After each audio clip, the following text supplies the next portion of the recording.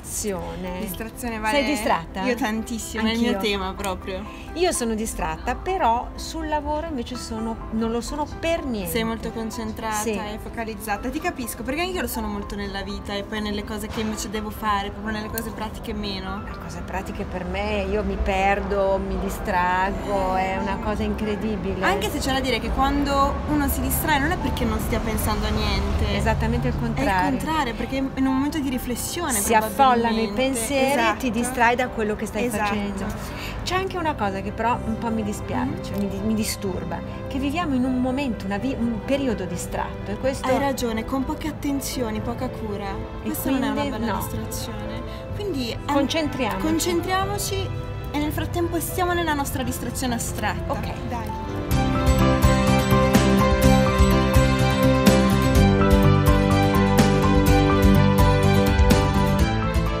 Se un problema necessita di un'assoluta concentrazione, simultaneamente interverrà una distrazione assolutamente irresistibile. Questa è la legge di Murphy ed è così che iniziamo la puntata di questo mercoledì. La iniziamo senza indugi e senza distrazioni perché è proprio alle distrazioni che è dedicata.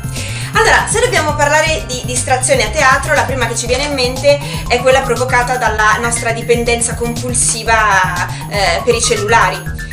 Sembriamo incapaci di tenere il cellulare spento anche soltanto per un paio d'ore eh, e di farci assorbire da, da quello che sta succedendo in quel momento sul palcoscenico. Però noi adesso vi diamo la dimostrazione che la rassegna di Ors merita di essere vista e vissuta con i cellulari spenti e i cuori aperti. Ciao, sono Anselmo ehm, lo spettacolo che farò si chiama Sbada Bang, ovvero l'arte di prendersi a schiaffi ed è uno spettacolo di body music o body percussion, cioè fare musica usando solo il proprio corpo. Allora, Deridere è uno spettacolo che parte da una riflessione che ho fatto un giorno. ehm, guardavo dei video su YouTube sono capitato sul video, sulla video intervista di Nino Formicola, Gaspare, al funerale del suo compagno di una vita e di scena che è Andrea Brambilla, Zuzzurro. Il mio spettacolo dura un'ora, un'ora E ti percuoti per un'ora? Non solo, non solo, se no sanguinerei. Cosa, cosa succede a una coppia comica quando uno dei due muore? E sono partite delle riflessioni su No, ci sono alcuni sketch in cui uso la commedia dell'arte, in cui uso la voce, quindi canto, della beatbox comica. È uno spettacolo nonostante questo in realtà anche comico, eh, quindi c'è un lato dolce amaro che cerchiamo di, di comunicare. E allora sbada bang. Sbada bang. c'è molto del nostro dentro. Sono Camilla Lietti della rivista Stratagemmi Prospettive Teatrali. Eh, Stratagemmi nasce 11 anni fa come rivista trimestrale di studi sul teatro, mano a mano però si è diciamo spostata molto di più sul web, l'attività della, della rivista si è ampliata, abbiamo fondato un'associazione culturale che si chiama Prospettive Teatrali che eh, si occupa di progetti di audience development, audience engagement, per lo più legati alla fase del, dell'adolescenza, insomma dei giovani spettatori, loro come mh, possibilità di coltivare eh, gli spettatori del futuro. Quindi facciamo degli incontri con spettatori, con pubblico invece più adulto, sempre per diciamo promuovere un pochino di più il ruolo della critica come mediatore tra l'artista e il teatro e ora siamo qui a Ors per, con un osservatorio critico di 10 giovani under 35 eh, redattori che racconteranno quello che accade prima, dopo, eh, durante gli spettacoli, intervistando il pubblico, gli artisti, eccetera. Siamo qua. Oggi è la prima di Ors e abbiamo la compagnia La Lucina. La Lucina è un testo di Antonio Moresco eh, di cui ci siamo innamorati. Danza o teatro? Io faccio danza, ma in generale siamo un misto, non, non ci vogliamo definire né danza né teatro, ma un ibrido. Ci sono dei video, eh, al momento sono in una versione un po' provvisoria. Cosa vi aspettate da questo Ors? tante persone, tante proposte e tante ehm, suggestioni. Allora, nel titolo c'è un presente e un futuro. Sono e sarò, come vedete, il vostro presente e il vostro futuro. Eh, presente sicuramente molto in eh, fermento, mm, si stanno muovendo cose, iniziamo e il futuro speriamo luminoso. Una parola per definire la Lucina. Imprevedibile e sorprendente. Allora, adesso facciamo tipo mantra. Quindi, continuate a mantenere viva la vostra attenzione, non lasciatevi tentare da alcuna distrazione e focalizzatevi sulla vita da assessore. Oggi abbiamo un ospite eccezionale al nostro magazine che è l'assessore alla cultura del comune di Milano Filippo Del Corno. Allora io mi sono documentata e ho visto che assessore dal latino significa colui che siede accanto. Spieghiamo meglio che cos'è un assessore.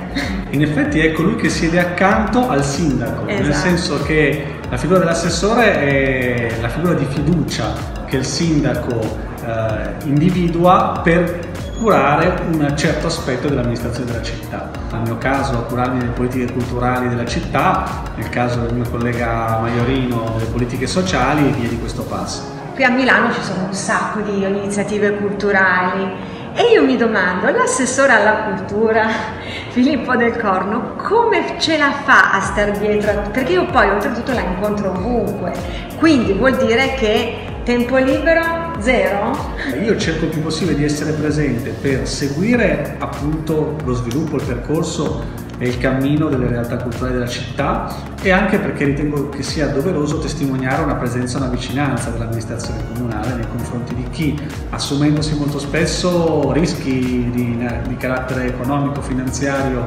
oltre che evidentemente mettendoci eh, un grande, una grande quota di energia e passione, fanno in modo che poi l'offerta culturale della città sia appunto così ricca.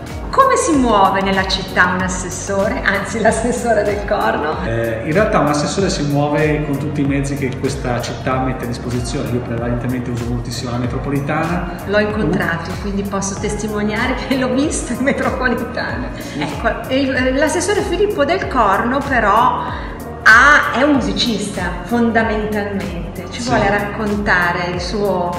eh, il curriculum dell'assessore. Ma eh, io in realtà sono un musicista, sono un compositore, mi sono diplomato in composizione al Conservatorio di Milano nel 1995 e pochissimi anni dopo ho iniziato a insegnare. E quindi la mia professione è eh, da una parte quella dell'insegnamento della composizione nel conservatorio, sono di, di ruolo al Conservatorio di Trieste, anche se attualmente sono in aspettativa per lo espletamento del mio mandato, e- ma il mio lavoro vero è scrivere musica. Ehm, e un'ultima domanda, no, una penultima. Che cosa le- non le piace di Milano? Eh, è difficile dire perché io sono innamoratissimo di Milano da sempre, indipendentemente dalle amministrazioni, anche se trovo la città di oggi molto più vicina in un certo senso ai miei ideali e al mio sentire di quanto non fosse eh, 15 o 20 anni fa. Eh, di Milano non, non mi piace la, dire, la noncuranza che a volte i milanesi hanno del- del- dello spazio pubblico. E come vede Milano nel prossimo futuro? Ma eh, diciamo che io spero che Milano, la Milano del prossimo futuro assomigli molto alla Milano di adesso, cioè sia una città aperta, una città dinamica, una città dal forte respiro internazionale, eh, ma al tempo stesso consapevole e orgogliosa della propria tradizione. Credo che Milano debba giocarsi, questo lo dico tante volte, ma ci credo, debba essere una delle città, anzi tra le città che si giocherà la grande trasformazione che attende eh, la società del futuro. Cioè io credo, ma non sono l'unico che si troverà le città-stato. E quindi credo che Milano sarà una delle città che dovrà sperimentare insieme a Barcellona, insieme a Lione, insieme a Berlino, insieme a insomma, tante altre città europee, insieme a Porto per dire, la forma e la struttura della città-stato. Fantastico, allora ringraziamo l'assessore. Filippo del Corno e, e niente, ci vediamo alla prossima puntata, ciao! E ora invece vi dico distraetevi, ma sì perché dopo una settimana di agende piene, impegni ad incastro perfetto che sembra di giocare a Tetris, concedetevi il lusso di distrarvi e magari fatelo placando un po' la vostra fame di sete di cultura. E quindi per questo vi consigliamo le nostre, le nostre mostre. Una è Tokyo Tsukishi, mostra fotografica di Nicola Tanzini presso eh, Leica Gallery dal 5 ottobre al 4 novembre ed è gratuita, quindi distrarsi così mi sembra il massimo. E poi l'altra è Tex, 70 anni un mito, dal 2 ottobre al 27 gennaio al Museo La Permanente. Cari amici, questa settimana mi trovo da Uroburo, una bellissima bottega che è in realtà una cooperativa sociale nel cuore del quartiere Isola, animata da Piervito Antoniazzi, che poi è colui che ha creato tutto quello che oggi è la fertilità e la vita, la vitalità del quartiere Isola. Questo è il suo tesoro, il suo luogo magico che eh, appare con la vetrina come una gioielleria, una gioielleria molto particolare, molto speciale, dove i pezzi sono tutti stati realizzati qui a mano, talvolta addirittura sul disegno dei clienti, ma c'è poi il laboratorio a vista e ci sono dei progetti bellissimi di creazione del gioiello tra il cliente e l'artigiano. Quindi qui veramente si ritrova il significato medievale della parola arte che unisce l'artista e l'artigiano in una cosa unica. Quindi è sicuramente un'anima nascosta che vale la pena di scoprire. Uroburo è il serpente che si morde la coda, è un simbolo dei cicli, della natura, della vita. E l'abbiamo scelto come simbolo di rimettere in, in pista, in circolo delle risorse umane che sono state messe ai margini. Abbiamo fatto con un'attività di laboratorio orafo che un po' vuole riprendere la tradizione delle botteghe medievali, cioè un luogo dove insieme si produce, si crea, eh, ma anche si insegna, ma anche si vende. Ah, siamo partiti nel 2001 con un corso con il maestro Davide De Paoli che eh, ha insegnato a ragazzi svantaggiati a creare gioielli. Negli anni ci siamo consolidati al quartiere Isola, sempre con la caratteristica del laboratorio a vista, ascoltando sempre molto i, i nostri clienti e a volte realizzando dei progetti segnalati da loro. Uno dei progetti che più eh, si è affermato è, è il progetto Fai la tua fede, dove il nostro orafo Mor un orafo che era già professionista nel suo paese d'origine, il Senegal, e ha avuto la fortuna di poter continuare anche qua, eh, assiste una coppia di futuri sposi che realizzano da soli le loro fedi matrimoniali. È un atto simbolico ma un'esperienza significativa che moltissime persone da noi hanno fatto. Sì, Uroburo oggi si sta innovando, rinnovando, abbiamo cominciato con una parte di e-commerce, abbiamo ampliato i nostri creativi, eh, ci stiamo sviluppando su un mercato molto più vasto e stiamo cercando di migliorare sempre di più la parte ehm, produttiva. In più stiamo sempre cercando di migliorarci eh, sulla produzione e sulla qualità, soprattutto perché ogni anno c'è sempre più competizione in questo mercato. E a proposito di distrazioni, il 27 dicembre del 2015 scrivevo Non sono precisa e sono distratta non ho una bella grafia e coloro fuori dai margini. Mi cadono cose dalle mani, mi scivolano persone dalle dita. Ho un brutto rapporto con gli accendini, la paura delle scale e di chi mi fa promesse. Cammino a piedi nudi quando ho bisogno di sentire il pavimento e non uso l'ombrello quando mi voglio ricordare che esisto. Tra l'altro, quanto è bello quando piove andare in giro con le cuffiette nelle orecchie. Ciao a tutti, oggi voglio consigliarvi una canzone poco conosciuta ai più. Si tratta della Spagnola di Rosanna Fratello, uscita nel 1974 per la Ricordi eh, all'interno dell'album Tanghi e Valzer di casa mia.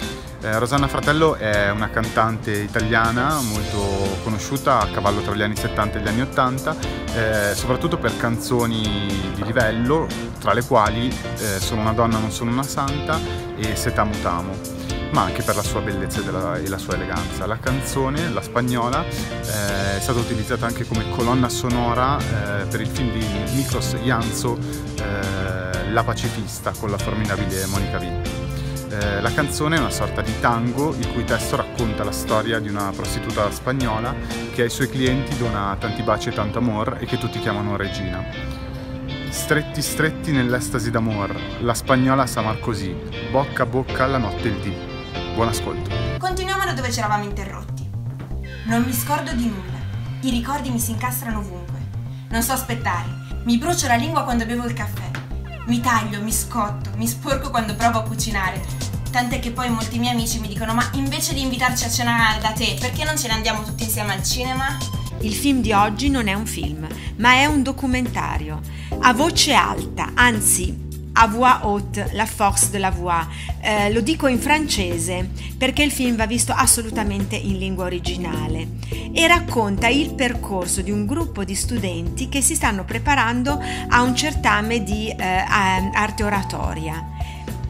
È veramente stupefacente perché eh, ti, ti, porta nel mondo della parola e ti fa capire quanto importante sia ehm, arricchire il proprio vocabolario, ehm, rendere i discorsi interessanti, eh, soltanto con delle pause, con dei, eh, un, dei, toni diversi. Ed è veramente un, un, un, uh, un documentario proprio interessante, soprattutto per insegnanti, per chi lavora anche nel sociale e poi anche per noi che facciamo teatro, perché eh, attraverso questo, questo documentario capi- si capisce quanto importante sia anche il nostro lavoro. Buona visione, ciao a tutti. Quindi concludiamo, non chiudo il tubetto del dentifricio, lascio sempre i cassetti aperti, perdo tutto in continuazione e ho sempre paura di quello che cerco, non mi so fidare più. Vabbè sì, diciamo che all'epoca poi era anche un po' più melodrammatica di adesso, io poi vorrei dire che passati due o tre anni adesso sono molto più concentrata, attenta, focalizzata, precisa, però oltre a tutto ciò sono anche una pessima bugiarda e quindi, e quindi non ve lo dirò. Cari cancerini, desiderate tanto trovare un equilibrio con voi stessi, ma desiderate anche essere inondati di affetto, perché ricordiamo che l'acqua è il vostro elemento questa settimana sarete molto molto fortunati perché Giove e Marte in Venere saranno buonissimi con voi. Per le coppie ci saranno tanti nuovi progetti in arrivo. Per i single lasciate da parte le vecchie delusioni e i vecchi amori perché sono in arrivo per voi tanti ed interessanti incontri. Inoltre qualche piccolo problemino in famiglia ci sarà e questo sarà colpa di Mercurio che si è messo un po' a ritraverso però mi raccomando, siate poco permalosi e non chiudetevi in voi stessi, vedrete che tutto si risolverà. Un saluto dalla vostra Morgana e arrivederci alla prossima puntata del nostro oroscopo. E quando voi volete smettere di pensare e distrarvi e quindi iniziare a riflettere, allora venite a teatro.